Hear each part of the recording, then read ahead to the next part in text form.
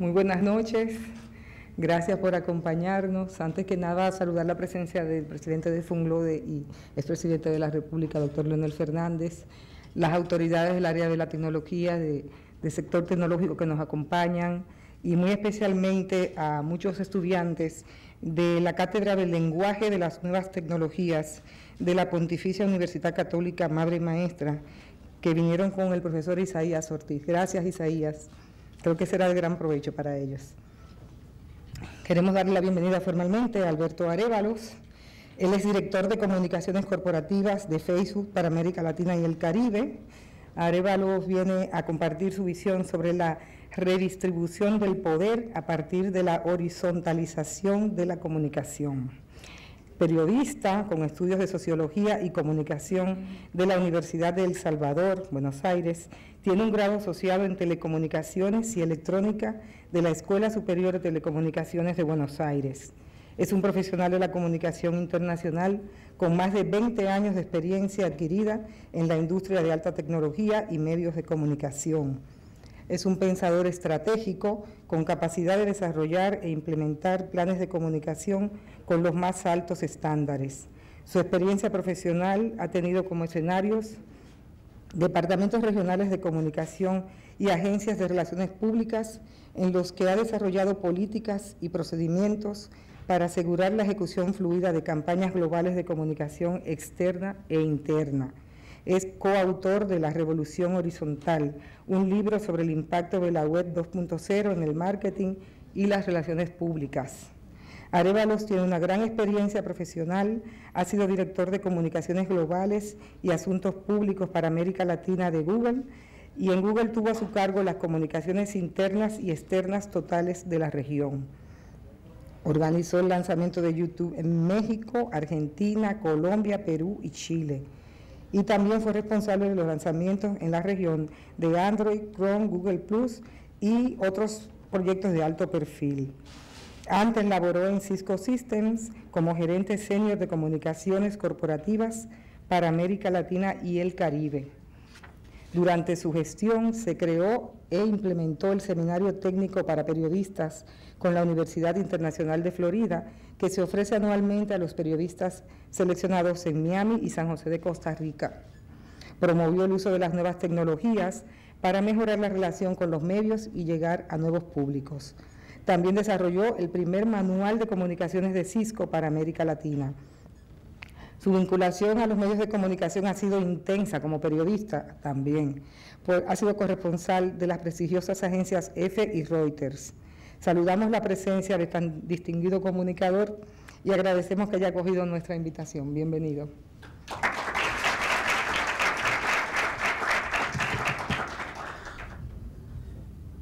Primero quiero agradecer a la gente del Consulado de Miami, a Solangela y Yocasta, que fueron las que insistieron tanto durante tanto tiempo para, venir. Eh, muchísimas gracias por la invitación, presidente. Eh, es un honor para mí estar acá Espero no robarles mucho tiempo. hace dos semanas estaba en Chile dando una charla también similar a esta, eh, un grupo de empresarios, y yo estaba arreglando mi, máquina para empezar y estaba vestido, ahora estoy demasiado bien vestido, eh, tenía un jersey naranja, parecía esos conitos que ponen en la, en la calle entonces me llamaron para sacar la foto y eran, estaban todos de traje oscuro y corbata, y yo en el medio de naranja. Hacía falta una nota de color en la, en la foto. Y entonces empecé la charla diciendo, eh, si ustedes alguna vez se pensaron que era una mosca en la sopa, hoy yo me sentí de esa manera. Entonces, Yocasta me dijo que había que venir de corbata. Yo no le creí, porque dije, estamos en el Caribe, más bien para guayabera, no para corbata. Pero que lo veo al presidente de corbata, le pido disculpas del caso.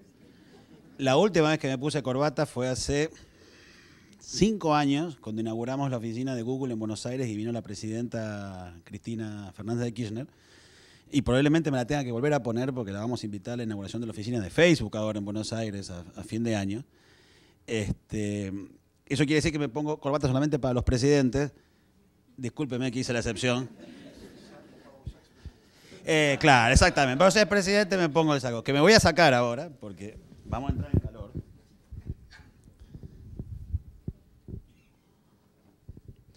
Una cosa que no le decían recién en la presentación es mi segundo nombre. Yo nunca lo quise usar realmente, porque nunca me gustó. Mi papá se llama así. Pero resulta que se puso de moda ahora. Me llamo Alberto Francisco. Y lo voy a empezar a usar, me parece.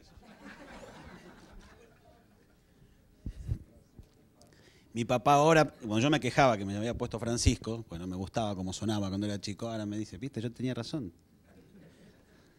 Ese nombre era importante, pero bueno. Perdón.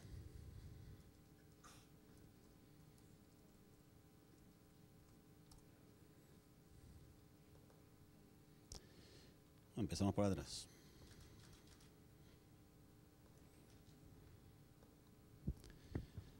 Bueno, bien. Eh,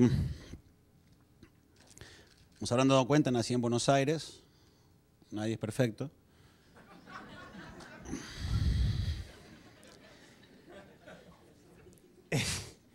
Pero un poco la idea, eh, y me gustaría que esto más que, se, más que una, una, charla o un monólogo sea una conversación, porque vamos a hablar de conversaciones justamente, y un poco el fenómeno al que nos referimos con Gonzalo Alonso, que por aquella época, hace cuatro años, era el managing director de Google para América Latina, eh, cuando nos decidimos escribir La Revolución Horizontal, eh, ya hace cuatro años, pasó bastante tiempo. Eh, hablábamos justamente de la importancia de entender que lo que estaba pasando y lo que iba a pasar a partir de, entonces y, hacia adelante era que las empresas, los gobiernos, las organizaciones, íbamos a entrar en una gran conversación. Y hablábamos, para los que saben algo de marketing, de la quinta P. Las cuatro P del marketing, producto, plaza, precio y promoción. Se le agregaba una quinta P que era la P del par ¿eh? Todos nosotros somos pares entre nosotros.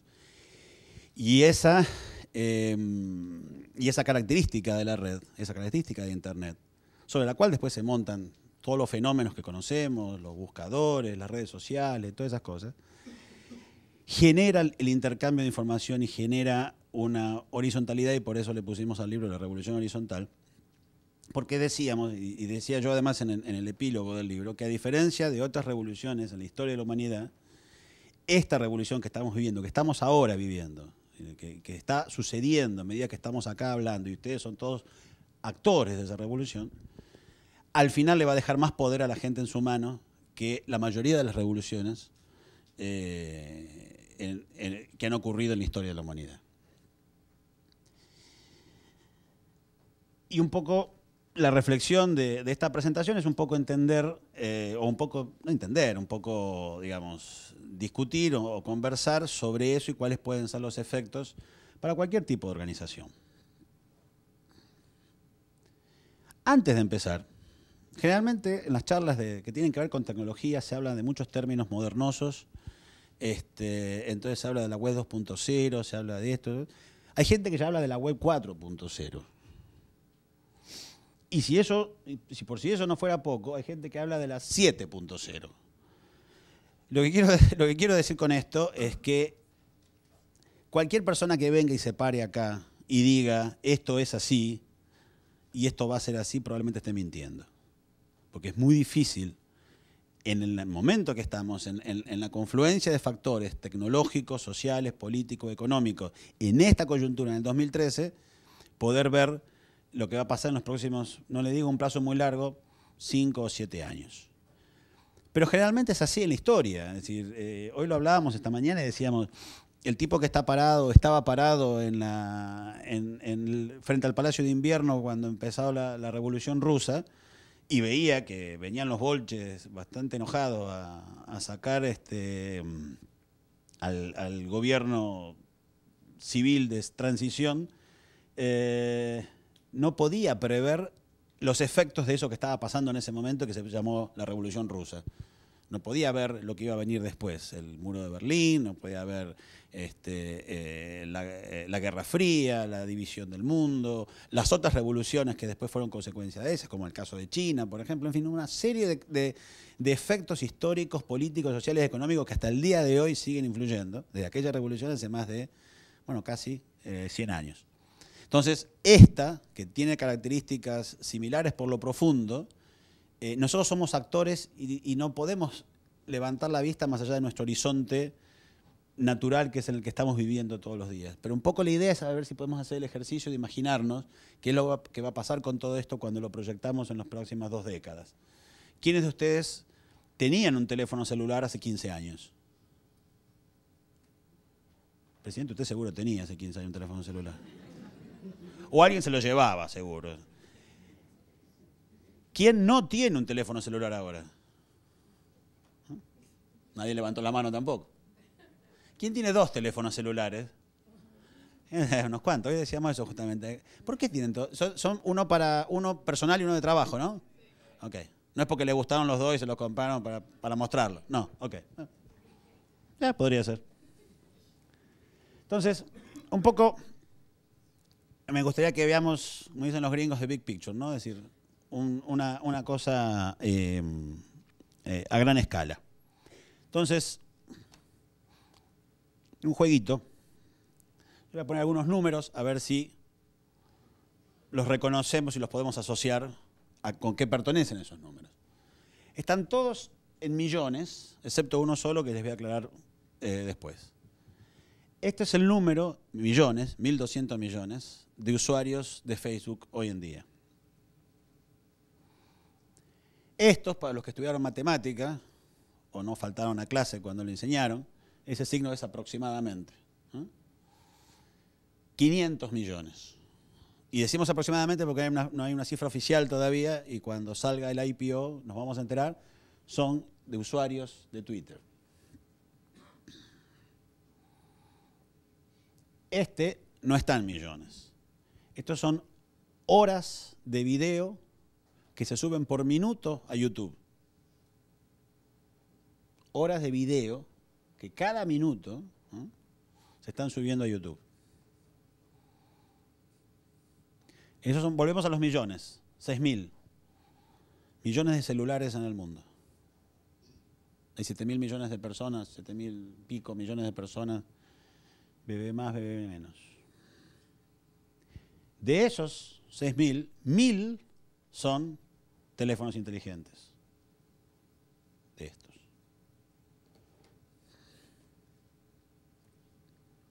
Y esos 2.200 millones son aproximadamente los usuarios de Internet hoy en día. Uno puede ver esto y ver eh, la copa medio vacía o medio llena. Yo la veo un cuarto llena recién. Faltan tres cuartos todavía. Imagínense lo que pasaría si los 5 mil millones de personas que faltan acá, de la población mundial, tuvieran acceso a Internet. Imagínenselo por un momento.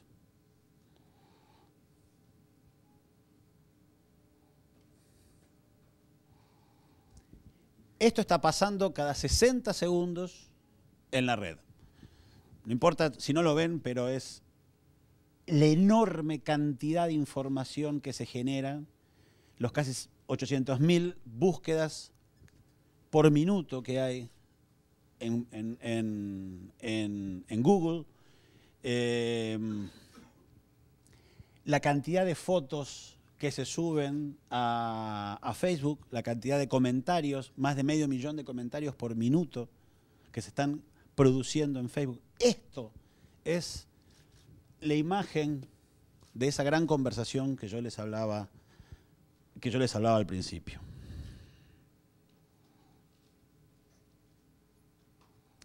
Entonces,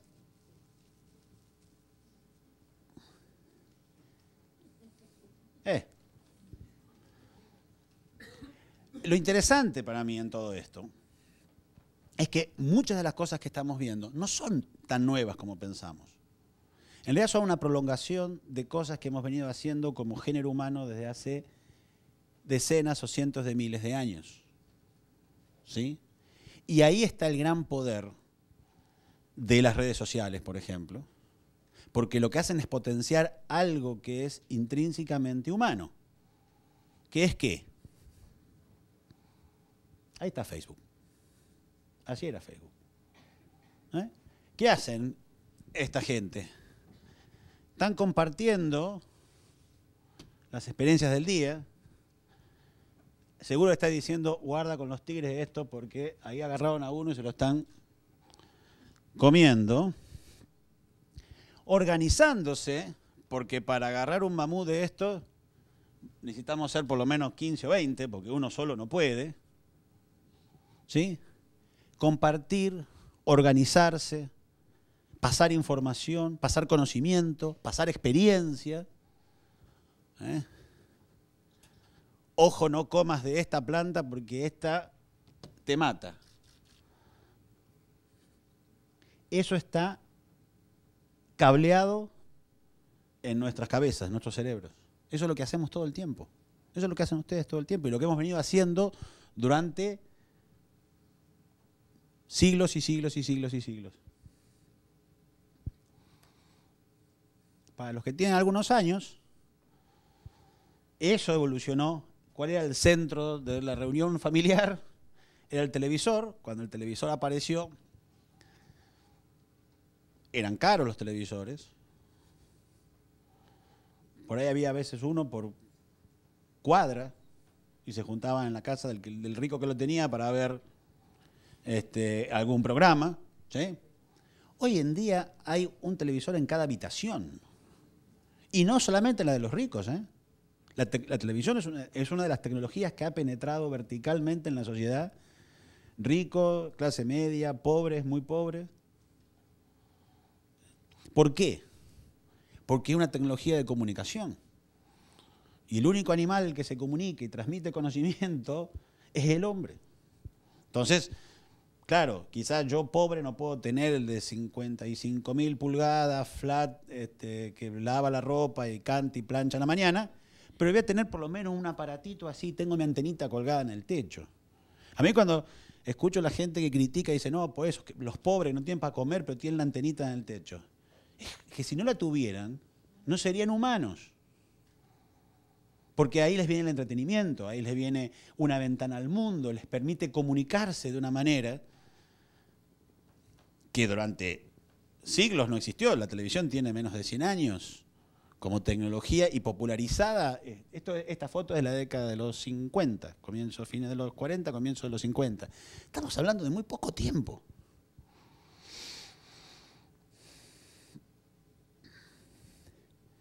¿Ustedes saben qué es esta foto?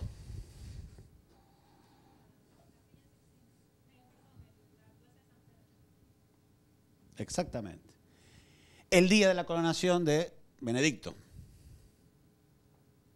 Ese detalle no lo tenías. Ah, ok. Bien, ¿estabas ahí? Ah, ok. No, pues, empezamos a buscar por acá y la... Ok. Grábense esta imagen. Este fue el día de la coronación de mi tocayo.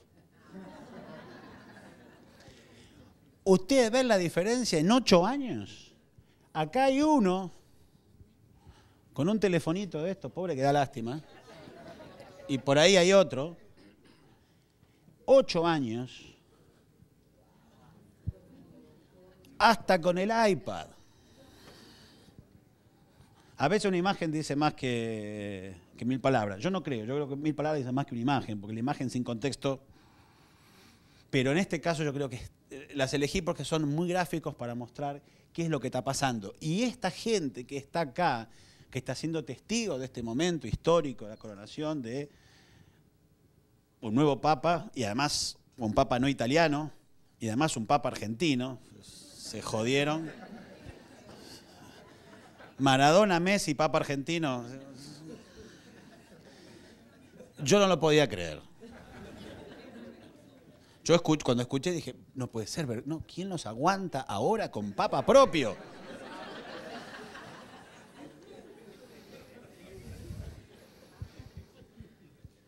¿Qué les puedo decir? Pero lo bueno es que se llama Francisco, así que yo ahí tengo mi, mi parte. esta gente no solamente está siendo testigo de este fenómeno, lo está compartiendo con un montón de gente en tiempo real. Está tuiteando en tiempo real. Está mandando las fotos y las está subiendo a Facebook en tiempo real. Y le está compartiendo con un montón de gente que ya no depende, y este es uno de los grandes cambios, no depende solamente del diario, que ya es viejo al día siguiente. Cuando el diario de papel sale al día siguiente, tiene historias y noticias viejas. Y es el gran dilema de los diarios hoy en día. Después, si, quieren, no podemos discutir eso. Pero tampoco depende de la CNN. Ni de, es decir, tiene acceso a información.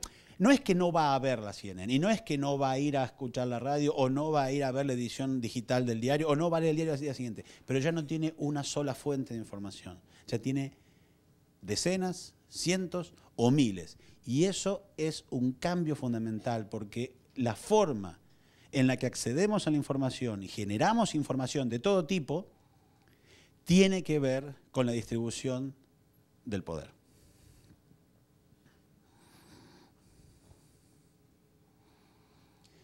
En este esquema, en este contexto, ¿qué es lo que, lo que ha cambiado? desde, desde las formas tradicionales de comunicarse a lo que está sucediendo ahora.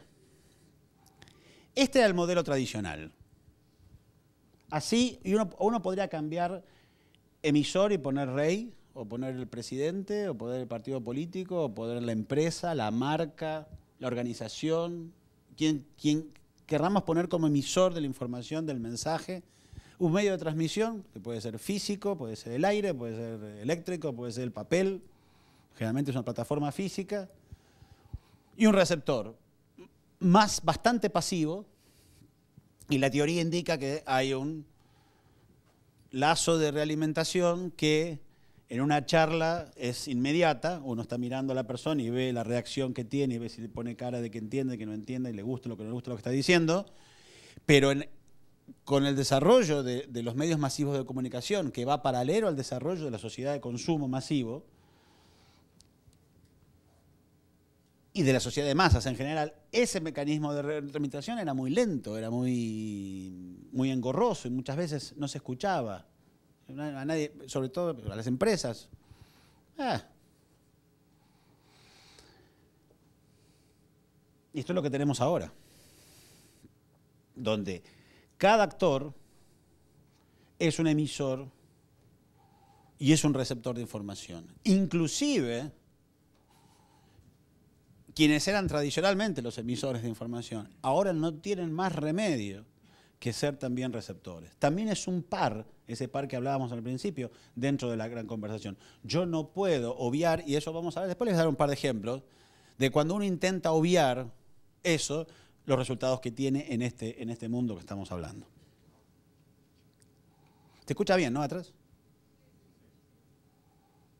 ¿No se están aburriendo? ¿Eh? Ok. Para estar seguro.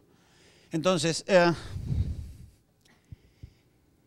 muchas veces yo me encuentro con cierto escepticismo que me dicen, bueno, pero eso pasa en Estados Unidos, eso es en Europa, en América Latina todavía, no, no, no estamos desarrollados, el Internet todavía no llega, eso es para los jóvenes. Ok, está bien, puede ser. Yo digo, miren, hay una infraestructura que es lo que hace posible la existencia de todo este fenómeno. Primero, digamos, si queremos desde el punto de vista de las aplicaciones, del software, es decir, hay una infraestructura que permite que exista YouTube, hay una infraestructura que permite que exista Google, hay una infraestructura que permite que exista Facebook. Si ustedes vieran, si ustedes pudieran ver lo no virtual que es el mundo virtual, lo real que es en hardware, en, equipos, en discos duros, en memoria sólida, ¿eh? no, no algo etéreo, sino y lo que cuesta poder sostener todo eso que para uno es, se sienta en la mañana en la máquina, busca en Google y le viene la respuesta por arte de magia, toda la ingeniería, todos los fierros que hay detrás de eso, lo mismo cuando subo una fotito a Facebook, lo mismo cuando veo un video en, YouTube o cualquiera de esas cosas que damos por naturales de cada día, que son parte de nuestra vida, lo que lo ha hecho posible son estas cuatro cosas. Y esto responde a leyes de la física. esto no responde a la voluntad mágica de alguien. Es decir, la cantidad de data que yo puedo poner por unidad de superficie, es decir, la capacidad de almacenamiento de información,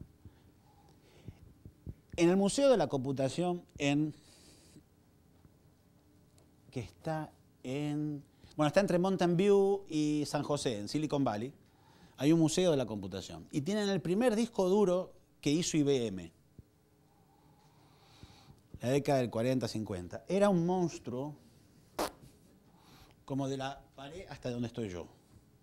10 megas tenía. 10 megas. Y era un monstruo. Costaba como 5 millones de dólares. Primer disco duro. Hoy en día, yo tengo acá en este teléfono 16 gigabytes. ¿Mm? No 10 millones. Tengo 16 mil, tengo 16 mil millones de bytes en este telefonito, que cuesta 400 dólares. Sin eso, sin eso que es una cuestión de evolución física, la cantidad de datos que yo puedo poner en cada unidad de superficie, en un disco duro o en una memoria, nada de lo que ustedes dan por sentado, nada, Internet no existiría. Y la cantidad de bytes que estamos pudiendo poner por unidad de superficie sigue creciendo exponencialmente y va a crecer exponencialmente, exponencialmente por los próximos 20 años. Primer dato. La capacidad de procesamiento. ¿Qué hago yo con esos datos? ¿Cómo los interpreto? ¿Cómo los proceso? ¿Cómo hago lo que tengo que hacer? ¿Cómo pongo una foto? ¿Cómo proyecto un video? ¿Cómo transmito, recibo y, envío un mensaje de texto por WhatsApp o un email? Bueno, eso lo hacen procesadores. La cantidad de transistores que yo puedo meter en un chip se duplica cada 18 meses. Eso se llama ley, de Moore. Cada 18 meses yo duplico la potencia que tiene. Y esa ley va a seguir por los próximos 15 o 20 años. Porque hasta va a haber un momento donde vamos a achicar tantos transistores que no los vamos a poder este, hay un límite, que es el tamaño de la molécula. Más, chico que eso no puedo. Pero ya van a inventar algo. Por los próximos 20 años vamos a seguir duplicando la capacidad de procesamiento que tiene un bicho de estos. Y a su vez el costo disminuye exponencialmente. Hoy en día hay más, mucho más, poder de procesamiento en este teléfono que en las computadoras del Apolo 11 que llegó la Luna. Eso lo sabían.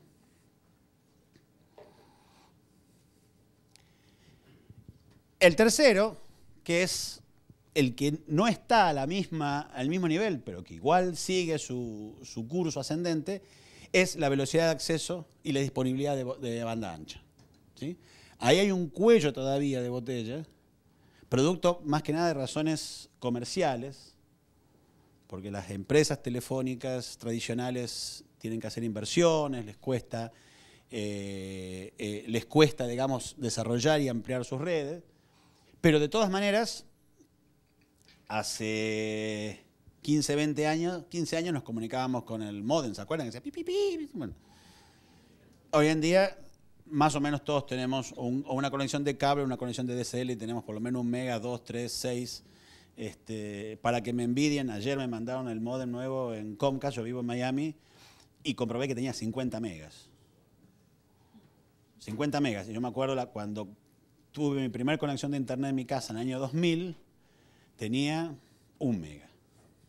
La velocidad se multiplicó por 50 con el mismo costo en 13 años. Y podría ser mucho más alta si ellos quisieran.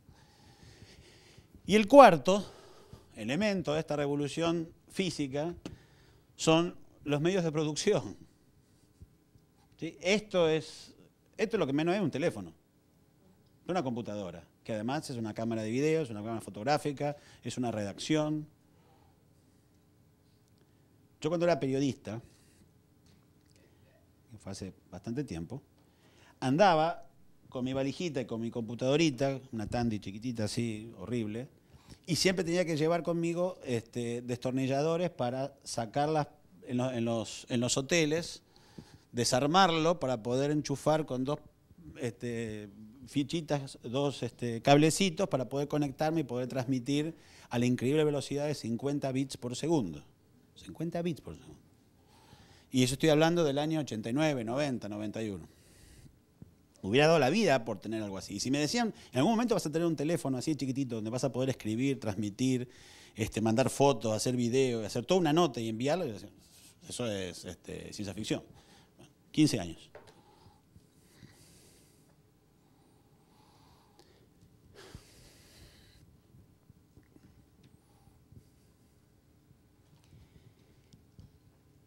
En cinco años, la cantidad de información que ha creado la humanidad ha crecido cinco veces y sigue creciendo exponencialmente. Cada dos años producimos la misma cantidad de información que se ha producido en toda la historia escrita de la humanidad. Y eso sigue exponencialmente.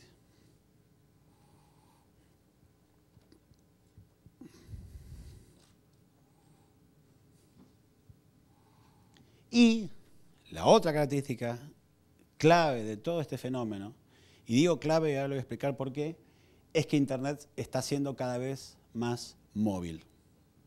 Cada vez el acceso a Internet es móvil. Y esos 5 mil millones de personas que vimos que hoy no tienen Internet, van a pasar de la era pre-Internet a la era post-Internet sin pasar por la era de la PC. Van a pasar directamente con el celular.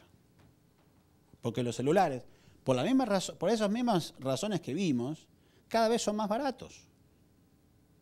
el, iPhone, este es el iPhone 5, el iPhone 5S que salió hoy, tiene un procesador que es el doble de potente del que está acá adentro y el precio es exactamente el mismo. Imagínense que ustedes van a comprar un auto este año, cuatro cilindros, el año que viene compran de ocho cilindros, mismo auto, con más cositas, qué sé yo, y sale lo mismo en un año, ¿eh? porque este salió exactamente hace un año. Bien. Entonces, le quiero dar algunos números para que vean este fenómeno que es real y ocurre en América Latina. Eh, por ejemplo, en, Facebook, ¿sí? la gente, 28 millones de personas se conectan a Facebook todos los días en México aunque hay como 45, 47 millones de cuentas, todos los días, todos los días se conectan 28 millones. 20 millones de eso lo hacen móvil. En Brasil, de los 47 millones de personas que se conectan por día, más de 20 lo hacen por móvil.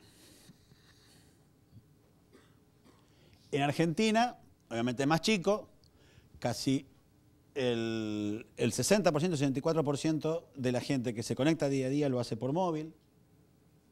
En Colombia, más o menos la misma proporción.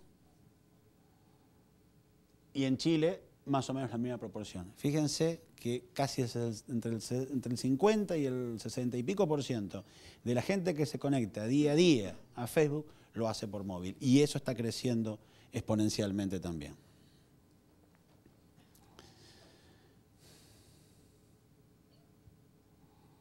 Entonces, esto es un dato interesante que hemos sacado.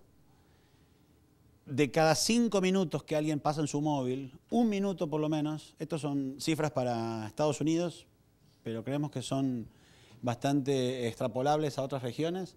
De cada cinco minutos que una persona está en su móvil, por lo menos un minuto lo dedica o a Instagram o a Facebook. Algunos me pueden decir, no, pero yo no. Sí, pero hay otro que le dedica los cinco minutos enteros, entonces este, equilibro al promedio. ¿ok? Antes que me lo digan, les aclaro que es un promedio. Entonces, fíjense una cosa, y que eso es donde generalmente eh, eh, eh, los cambios culturales a veces llevan más tiempo de los cambios que produce la tecnología. En Estados Unidos, que es un mercado desarrollado, tienen todas las cosas, inventaron Internet y toda la historia, hay, ya este, esta cifra es un poquito vieja, yo creo que haber casi 100 millones, un poquito más, de, la cifra es de 2011, así que súmanle un 10% más, así que deben estar más o menos en los 100 millones, eh, de usuarios móviles, solamente un 21 a 23% de organizaciones, empresas, etcétera, etcétera, tienen sitios de Internet optimizados para móviles.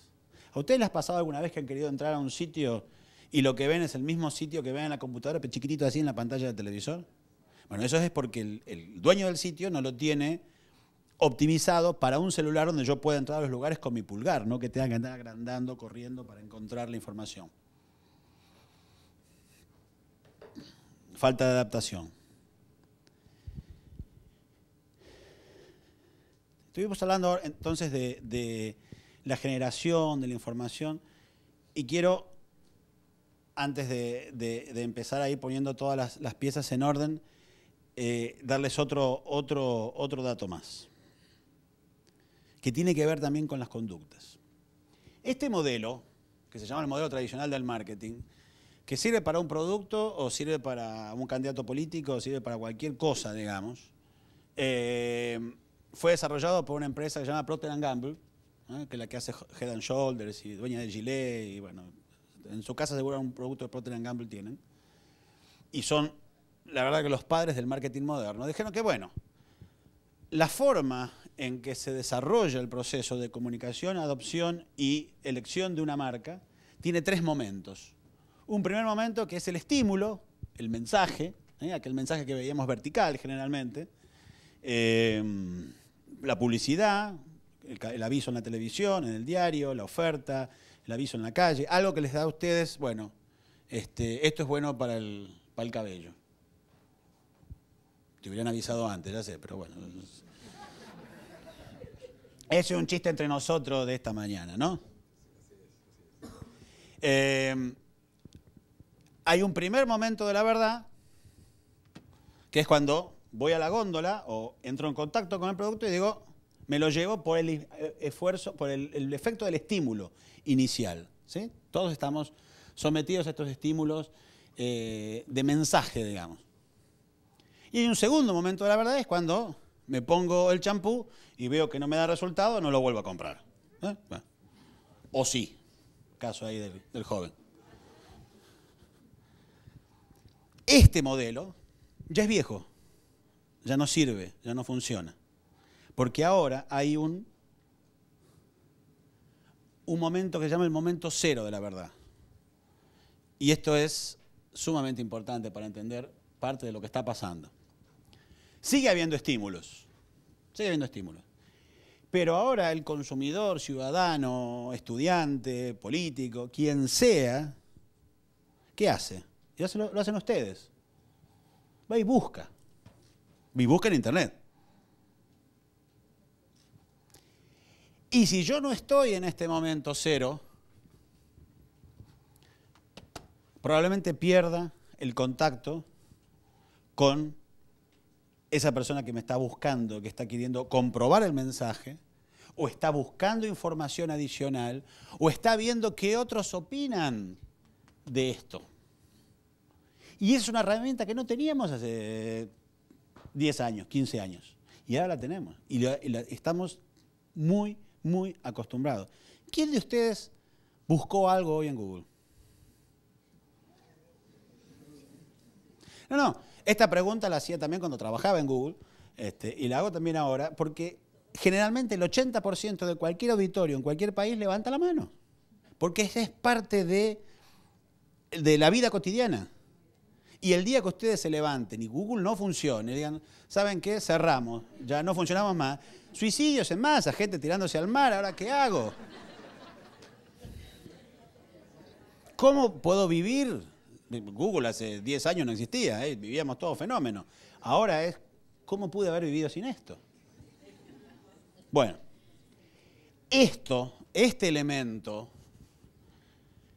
tiene unos cambios y genera unos cambios y genera unas consecuencias en la comunicación, en el mensaje, de cualquier organización.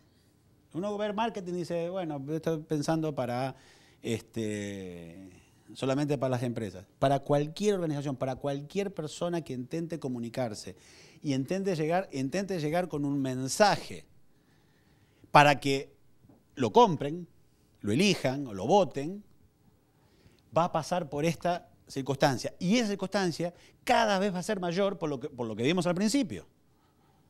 Hoy en día son 2.200 millones.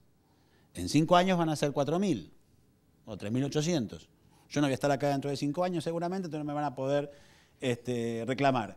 Pero acuérdense que vamos a llegar a los, yo calculo a los 3.000, 3.500 millones de usuarios de Internet en todo el mundo en los próximos cinco años. Porque ya se está trabajando para eso. Facebook es una de las compañías que está trabajando para eso. En realidad para meter los próximos 5.000. Pero un cálculo realista es que en los próximos cinco estemos hablando de 3.500 millones. Entonces, ¿qué pasa cuando yo me olvido de esto? Le voy a dar un ejemplo. ¿Conoces este caso? British Petroleum la conocen. Eh, esto ocurrió hace un par de años en el Golfo de México. Reventó una plataforma y causó un enorme eh, derrame de petróleo en el Golfo de México, frente a las costas de Luisiana, este, en, los Estados Unidos. Fue realmente un desastre. British Petroleum, empresa, digamos, con recursos y todo, tenía un excelente sitio web donde informaba, porque tenía que comunicar, eh, qué era lo que estaba haciendo para limpiar. Es más, habían puesto una cámara submarina que transmitía en directo el petróleo saliendo, porque además era un problema serio de ingeniería cerrar ese pozo que estaba como tres mil y pico de metros de profundidad. Bien, tenían todos los, elementos, tenían su cuenta de Twitter, tenían su este, página en Facebook, todo lo que manda el manual, tenían sus peliculitas en YouTube, todo como Dios manda. ¿Qué es lo que pasaba? La gente no lo veía, la gente no lo visitaba. ¿Por qué? Porque cuando la gente los buscaba, no los encontraba. No estaban. No estaban porque estos son los resultados orgánicos de Google, estos son los resultados patrocinados de Google. Cuando la gente buscaba, no buscaba British Petroleum, buscaba spill o derrame o petróleo o golfo. Entonces, el sistema consideraba mucho más relevante todas las noticias que había que la información corporativa de la empresa. Por razones obvias. Cuando la empresa se dio cuenta que podía hacer esto y que podía anunciar su sitio ahí, obviamente pagando, pero eso es lo de menos. Para British Petroleum tuvo que pagar 4 mil millones de dólares, se gastó 2 millones de dólares ahí, no es nada. Pero en una semana que se gastó 2 millones de dólares, aumentó el tráfico de todos sus sitios más del 600%. En una semana. Después siguieron con la campaña.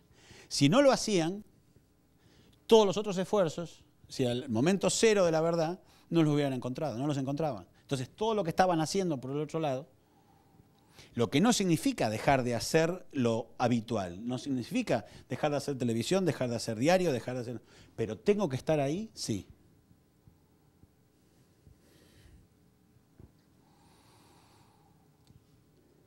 Entonces, el cambio de paradigma para las organizaciones en general es cómo entender comprender y adaptarse a un mundo donde ya no soy yo solo el que habla y el, ciudadano, el consumidor, el cliente o el, me escucha, sino que formo parte y tengo que formar parte de una conversación. Fíjense que cuando hablamos de la redistribución del poder, a las organizaciones privadas las afecta mucho más que a los gobiernos. Los gobiernos nos afectan, lo vimos en Egipto, tuvo consecuencias políticas. De todas maneras, yo nunca salí corriendo y le dediqué, en la segunda edición del libro, le dediqué un capítulo específico a contar lo que había pasado en Egipto, porque había sido a través de Facebook, fue la plataforma donde la gente se organizó, y uno de los organizadores había trabajado para, para Google, y yo tenía mucha información interna que era interesante contar cómo se había organizado todo eso. Y entonces acá quiero decir dos o tres cosas. La primera es que revoluciones hubo siempre y no había tecnología. La revolución las hace la gente, no la tecnología. La tecnología ayuda y ayuda mucho. Sobre todo la tecnología de, redes, ¿no? de, compartir información. Primer punto. Segundo punto, los gobiernos sí tienen mecanismos en el ejercicio del poder que les pueden ayudar a limitar o a prolongar situaciones en el caso tenemos China, por ejemplo, que limita el acceso a, contenidos. En, Egipto hubo un intento también de cerrar Internet. Hay muchos países que controlan el acceso a la información. Pero es mucho más difícil que hace 10 años, 15 años, y absolutamente. Porque se filtra, por algún lado se filtra. Es, imposible contener, hacer un dique a la enorme cantidad de información cuando cada uno de ustedes es un tipo que genera información y todos con un telefonito de esto en la mano donde pueden sacar la foto del policía pegándole en la cabeza, del otro disparándole y matándolo, de los gases que tiran en, Siria, etcétera, etcétera, etcétera. Eso es un gran cambio. Yo me acuerdo cuando estuvo la presidenta eh, Fernández de Kirchner en Google, dijo algo que, que fue muy importante y muy significativo. Y se preguntó, ¿hubiera habido en Argentina desaparecidos en la época de dictadura si hubiéramos tenido Internet? Hubiera habido tantos desaparecidos. Hubiera sido tan fácil para la dictadura desaparecer gente si la gente hubiera podido comunicarse y hacer comunicar hacia afuera lo que estaba pasando en el momento en el país. Fue una buena pregunta y yo creo que obviamente la respuesta es no. Es más difícil. Lo que no significa que no lo puedan hacer los gobiernos. En el caso de las empresas o de otro tipo de organizaciones, la ecuación de poder ha cambiado completamente.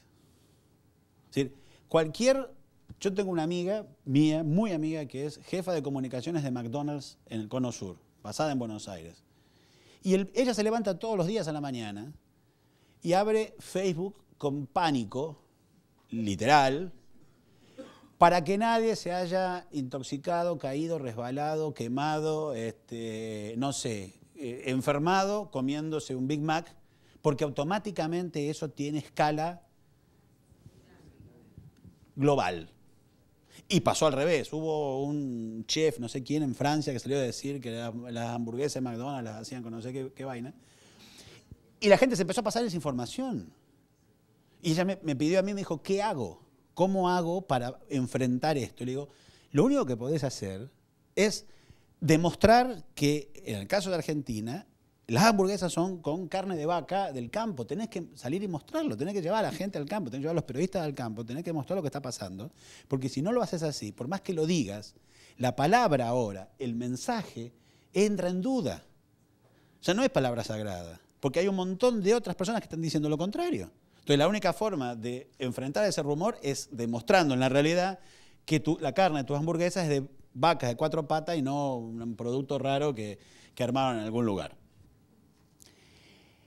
Y estamos hablando de una empresa poderosa como McDonald's. Es decir, el, grado de control social que tienen hoy las organizaciones y particularmente las empresas es muchísimo mayor que el que tuvieron nunca en la historia. Un hotel, yo tengo una mala experiencia en un hotel, voy y pongo la foto, miren esta sábana sucia, miren esta cucaracha.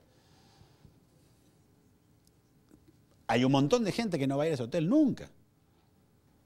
Es más, hay una empresa que se dedica en los Estados Unidos a hacer monitoreo diario de las redes, Twitter y, Facebook, para detectar comentarios negativos a las marcas de esos hoteles.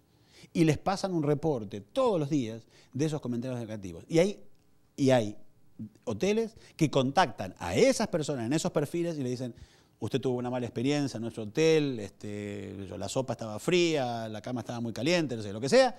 Eh, por aire acondicionado. Eh, le damos un día, dos días de estadía, la próxima vez que venga gratis. Es decir, se utiliza eso como, como... ¿Pero por qué? Porque están escuchando. Entonces, generalmente a mí cuando algunos empresarios o, gente que, está, que tiene algún negocio se preocupa ¿no? por, la reputación, por qué es lo que va a pasar con mi reputación, qué es lo que va a pasar con mi negocio, todo el mundo opina, los comentarios negativos. Digo, míralo como una gran oportunidad de escuchar lo que está pasando y actuar en consecuencia.